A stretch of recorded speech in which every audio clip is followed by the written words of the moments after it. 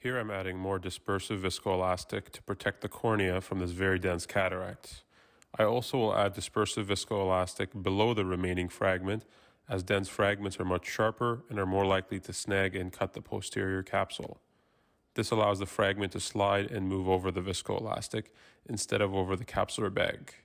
Viscoelastic above and below the fragment creates the viscoelastic shield for dense cataracts.